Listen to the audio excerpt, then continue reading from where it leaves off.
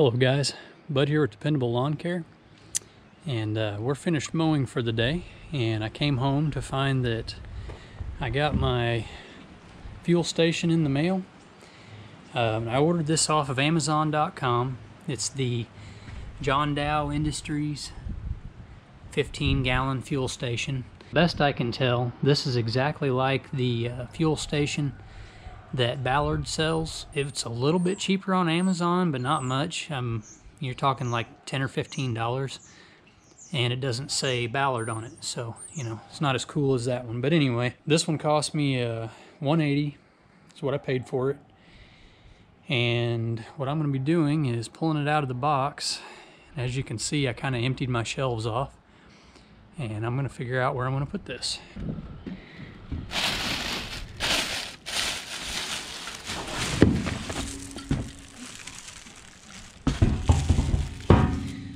right, guys, I'm gonna need both hands to get this uh, to get this all set up. But there's the nozzle, and it's uh, all metal. Uh, looks like all aluminum and stainless nozzle. There's your grounding wire, cap, vented cap, uh, instruction manual, and the hose is in there. 10 foot. So it's a 10 foot, half inch inside diameter half inch hose. Pretty basic. You just take the uh, Teflon tape that's provided, put a few wraps on this end and thread it on.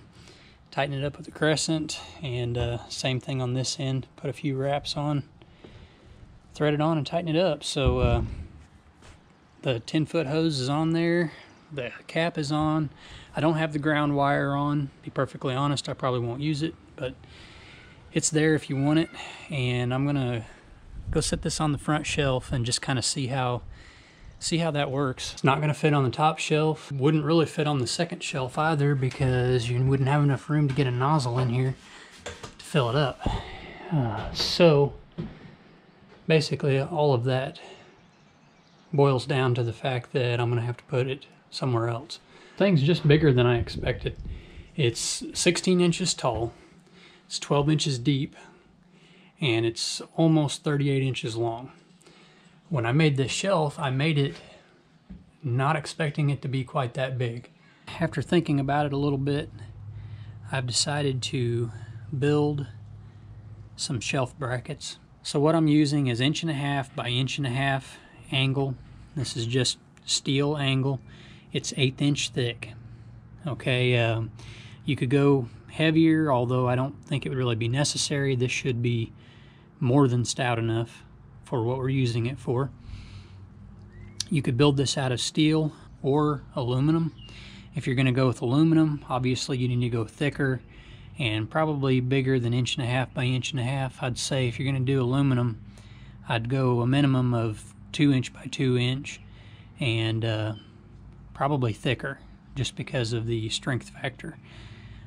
But uh, the good thing about this is that if you were using aluminum or steel and you didn't have access to a welder, you could bolt this together at these three points, uh, drill, drill through them and bolt them, and be done with it. Uh, you wouldn't have to weld it. Welding is going to be a little bit stronger, but obviously you have no room for error if you weld it as far as adjustment goes. So I like to weld. I have a welder, so I'm going to weld mine, but if you're doing this for a similar reason. You don't have to weld it, you can bolt it together. So just throwing that out there.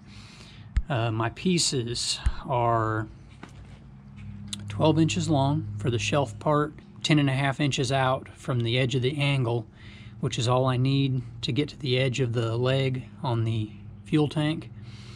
And then the uh, the angle or the, the brace piece started out at 12 and by the time I messed up one piece and then cut them both the same looks like they ended up at 11 inches long. So uh, 11 inches should work out great. I should have one leg bolt right about here and one leg bolt right about here. So having this not all the way out to the end is gonna save me some space for one and also leave me the proper placement for my bolt holes and obviously this is two brackets and I laid them out side by side to make sure that they're a mirror image. Now these are 36 inches long and the only reason that I'm going with that length is because that's the length came at. Um, I could cut them down probably to 30 inches, 32 inches even would be fine. But since they came at 36 and I don't have a use for the 4 inch piece that I'd be cutting off, I just decided to go ahead and go with that length. So um, I've got a little piece of scrap that's underneath the ends as simply as a spacer so that everything is uh, flush and square.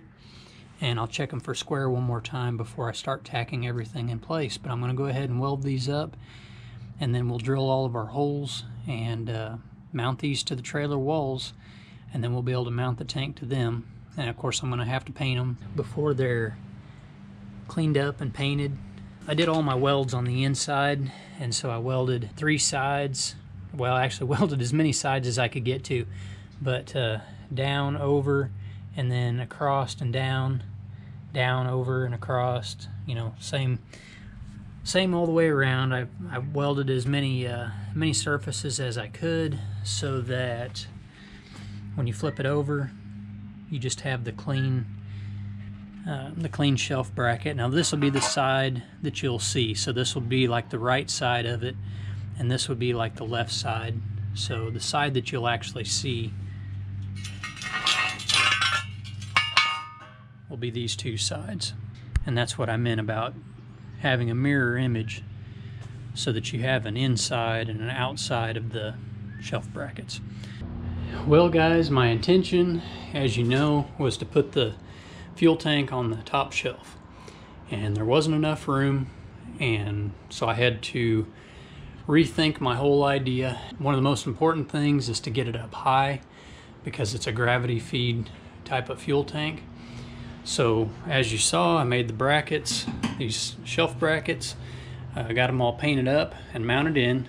Now they're screwed right into the stud with inch and a quarter self-tapping screws. They're a quarter inch thick self-tapping screws.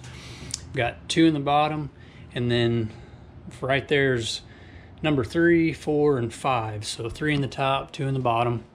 Uh, the tank is mounted as you can see to the brackets bolted down nice and solid I did leave just a little bit of gap between the tank and the bracket so if there's any movement there at all it's not rubbing up against it and honestly guys I'm I'm pretty happy with how it turned out it's not what I originally had in mind but I think this is actually honestly going to be better and there's a couple reasons why one it frees up the shelf space that I would have been taking up with the tank. It would have taken up most of that shelf because of how deep it is. And another thing too is with it mounted right here, it's 10 foot hose, I can reach all the way back to the fill cap on the back mower. I can reach the second mower obviously, and I can reach the FW15. So basically I can reach every mower in here from where that's mounted. Um, another reason why I think this is going to end up working out better is because I have this flush mount fuel door. I've had this, I don't know, close to a year. I bought it for my other trailer and I never installed it. And I think what I'm going to do is I'm actually going to install that probably right here, somewhere in this area at least, between the between the wall studs. But I'm going to mount that so that I can pass the nozzle from the pump in through from the outside through that door. And I'll be able to fuel up this tank. And then if I mount my my green touch gas racks over here gas can racks um, then I'll be able to fuel everything up in one stop and the only door I'll have to open would be well either that door or the side door doesn't matter which just so I can get inside the trailer. Um, but that's also the side that my, my truck fuels up on so I can pull up fuel up my truck come back to the, the premium pump which is what I use for my mowers and my small equipment and I can fuel up right there. So I don't have to move anything. I don't have to you know do a bunch of shuffling around carry gas cans out any of that kind of stuff I don't have to turn my trailer around so I can come through the side door um, I think that's just going to work out a lot better so um, now as far as how secure is this so the gas tank with 15 gallons of fuel. uh, the weight of the tank plus the weight of the fuel, you're looking at about 150 pounds. That, that was the only thing I was concerned about with putting it up on the wall is the amount of weight. Um, that's a lot of weight in one spot.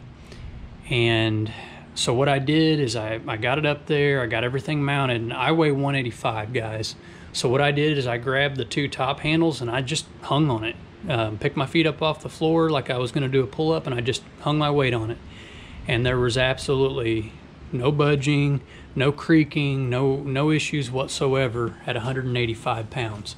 So the 150 pounds that's normally there shouldn't be an issue either. Should be plenty enough screws. The shelf brackets are definitely strong enough, and I think I think it's going to work out great. So the next thing to do is mount my my flush mount door in here. I think I'm going to wait on that though. I'll update you as soon as I start getting some more of my stuff in here and when I get ready to use it I'll take you guys along show you how it all works out but as always, thanks for watching, guys. Get out there and make some money, and we'll catch you on the next one.